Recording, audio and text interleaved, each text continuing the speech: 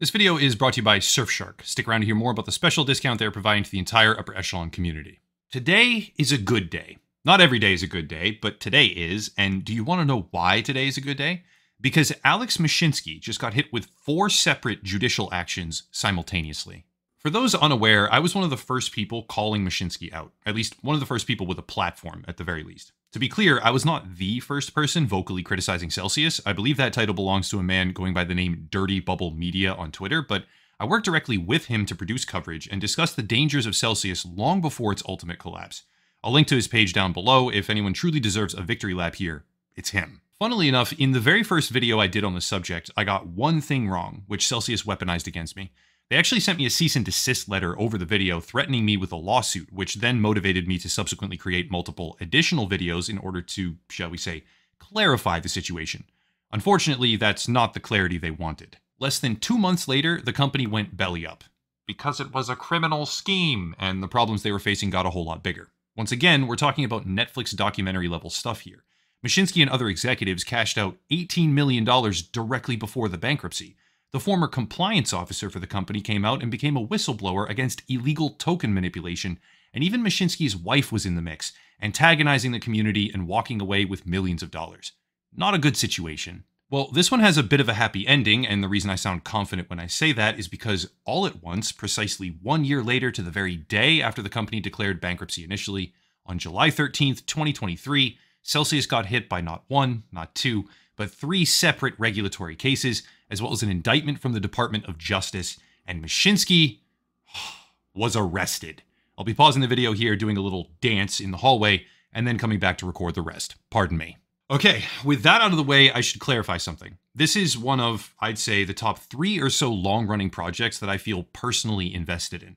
I had a video called Let's See Some Jail Time about Celsius and Alex Mashinsky himself. I had one called The Man Who Destroyed Billions, also about Mashinsky, obviously. And the stakes here were just personally significant. After some of the early warnings that were given, reported on by the likes of Dirty Bubble Media and myself, I received testimonials from people who managed to withdraw their money from the platform. However, for every single positive message about someone avoiding the catastrophe because of early warning signs or reporting done by me and others, there were thousands more who didn't, and those people deserve justice.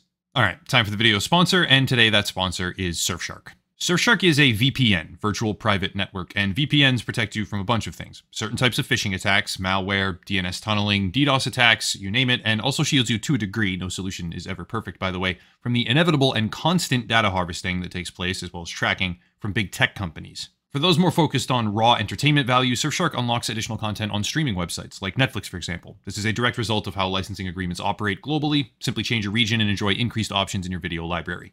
Surfshark can get you around regional censorship, that's a big one, such as government restrictions on certain websites, and also offers encryption, IP protection, or more importantly, modification, and more. For those that care, real quick, let's see how they feel about me even saying this. Surfshark merged with a company called Nord Security not too long ago, but for anyone concerned by that, of which there might be a few people in the audience who are, these two companies operate entirely separate VPN infrastructure.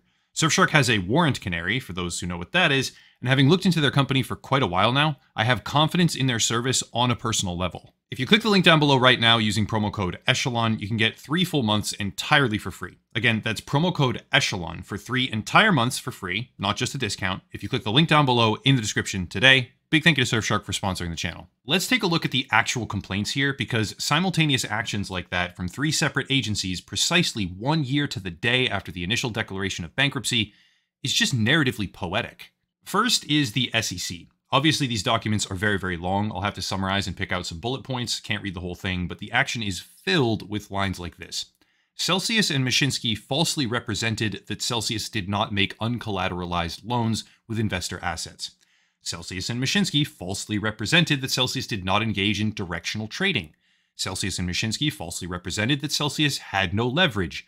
Celsius and Mashinsky falsely represented that 80% of Celsius's revenue is returned to investors, or and this one is my personal favorite here, Celsius and Mashinsky falsely represented the amount raised by the CEL ICO. That's a great one because I had actually been receiving information from another source during the span of these events with heavily researched information about the Celsius token ICO. It was great work, it really was, and it was subsequently pushed along to the SEC. It just never became its own dedicated video on this channel. I'm going to link to their Substack down below, actually. They have some solid reporting on the crypto industry, and they deserve a moment of recognition here. The complaint doesn't stop there. In further sections, it asserts that Celsius misrepresented the number of active users on the platform, lied about defaulting on loans, falsely represented their financial condition or the scope of insurance, and lied about compliance. I could probably make an entire video on just the SEC filing that came out today because they apparently lied about practically every single material condition of their entire business structure, but it's not even a third of the full picture. Let's move on to the CFTC complaint. Here's the opening paragraph. Quote, Beginning in 2018 and continuing through at least June 2022, the relevant period, Celsius Network LLC, together with its parent and related entities, Celsius, and Alexander Mashinsky, Mashinsky, one of its founders and chief executive officer, CEO, together defendants, engaged in a scheme to defraud hundreds of thousands of customers by misrepresenting the safety and profitability of its digital asset-based finance platform. End quote. Booyah! Get fucked, Mashinsky. But there's more. This part was super interesting to me and made me happy when I read it. Quote, Defendant Mashinsky directly or indirectly controlled Celsius and did not act in good faith, or knowingly induced, directly or indirectly, the acts constituting violations of 7 USC committed by Celsius, Therefore, pursuant to 7 USC, defendant Mashinsky is also liable as a control person for each of Celsius's violations. End quote. Ah, you smell that, guys? That's the smell of a scumbag getting metaphorically nailed to a wall. It's delicious, isn't it? Now, that one, the CFTC complaint in particular, is all about financial penalties, so not as spicy, but still good. Let's go over to the FTC. Here's a paragraph that aptly summarizes the reality of Celsius Network. Quote, from at least 2019 until June 2022, defendants duped consumers, many of whom were inexperienced with cryptocurrency, into transferring their cryptocurrency assets onto the Celsius platform. Defendants promised consumers that Celsius was safer than a bank or other traditional financial institution and misrepresented that their deposits were safe because Celsius earned profits at no risk to consumers by making secured crypto loans to other exchanges. Defendants guaranteed that if consumers transferred cryptocurrency to Celsius, they would continue to own it and they could withdraw it at any time because Celsius had billions of dollars in liquidity and maintained sufficient reserves to meet customer obligations. End quote. Mashinsky strikes again. Those are his words, by the way, and they were lies. I mean, for the best explanation of how cartoonishly evil and brain dead Mashinsky is, he was tweeting out, and I quote, Mike, do you know even one person who has a problem withdrawing from Celsius? Why spread FUD and misinformation? If you are paid for this, then let everyone know you are picking sides. Otherwise, our job is to fight traditional finance together. End quote. This happened, this was tweeted less than one day before the platform paused everyone's withdrawals, later going belly up and declaring Chapter 11 bankruptcy because it was a fraud scheme. Going on a tangent here, we need, we absolutely need to dispel with this societal rumor that someone being rich is in any way indicative of intelligence. I don't know how in the world that kind of mentality got fostered to begin with, but crypto millionaires are not smart people. They are subpar con men grifters who happen to have stolen enough money to where the possession of said money is a self perpetuating cycle of pseudo credibility. Being rich in crypto is like being 45 years old in the ball pit at Burger King playing King of the Hill with greasy seven year olds. Are you proud of yourselves for winning? Is this an accomplishment for you? At this point, I'm genuinely curious. How about another dose of reality here? This is the unsealed Department of Justice complaint. That means not penalties and fines, but criminal charges. I'll just read the actual charges. Count 1, securities fraud. Count 2, commodities fraud. Count 3, wire fraud. Count 4, conspiracy to manipulate the price of CEL. Count 5 and 6 are an extension of that and count seven is more wire fraud. I'm sure there will be a lot of in depth legal analysis of these documents from a multitude of law channels in particular in the coming few days, but the gist of it is that Mashinsky has been hit from every side after digging himself a hole so deep and so steep on the sides, there's absolutely no escape. The former chief revenue officer, Roni Cohen Pavon, has also been hit with multiple counts of fraud. And it's funny because he's one of the reasons I initially started covering it all. The funny thing was that there were these ties between Mashinsky, Celsius, and a guy named Moshe Hogeg, who Mashinsky pretended loosely and really transparently not to know. One of their executives got arrested, people started watching, and once the dominoes began to fall, and there were a lot of small dominoes, like rapidly falling at the time, they got bigger fast. To be clear, some of this stuff, a little bit of it, is performative. For example, the FTC complaint is already in a state of settlement, I think, where Celsius is banned from handling consumer assets, obviously, and mandated to pay a fine of $4.7 billion. But the fine itself against the company is suspended because they are in Chapter 11 bankruptcy. They don't have that money. That's the point of bankruptcy. And the company needs to be liquidated to try and pay back customers. So let's dispel with this we're going to relaunch Celsius type thing. Nope, nuke it, burn it to the ground, sell all of it, fire everyone. Every single penny needs to be returned to the actual people who put money in and had their money stolen. Get rid of it.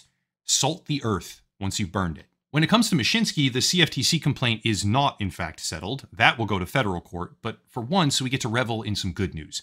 This is the path that crypto deserves. This is what the industry has brought upon itself. And people like Mashinsky need to be made example of. Lock him up forever and throw away the key. Stealing from hundreds of thousands of people simultaneously to an extent where their future and livelihood are dramatically impacted should be treated with extreme prejudice. We are not hard enough on financial crime in this country. That's for damn sure. The fact that this industry has been allowed to persist is an embarrassment to humanity. And more executives, CEOs, moguls in the crypto space will fall in the not too distant future. I can only hope that they get maximum sentences with no opportunity for parole. I don't want to call it a victory lap, but it's a fucking victory lap. Everyone who helped bring this corruption into the light deserves recognition, especially Dirty Bubble Media. His page is linked down below in the description. And I want to say, as one final addendum here, Mario Nawfal should be paying extra special close attention right now. In a just society, this is what conmen and grifters get served. I've been documenting the things you delete, Mario. Taking things down now, after the reporting about your roundtable sponsors, it's not a good look. I'm watching, Mario, always watching, because people like you need people like me to hold them accountable with the truth. That's it. I'm going to take a break right now, play some Project Zomboid, and have my favorite meal. If you want to support the channel, check out the links down below. I'm finally starting to work on doing short form content. It's stupid, I hate it, but YouTube is forcing me, so yeah. Please do check out Patreon or locals or channel memberships since reach is now heavily throttled on the platform because I don't spam ADHD garbage for the TikTok generation. What a world we live in. Anyway, that's it. Celsius Network and Mashinsky are getting what they deserve. Have a nice night.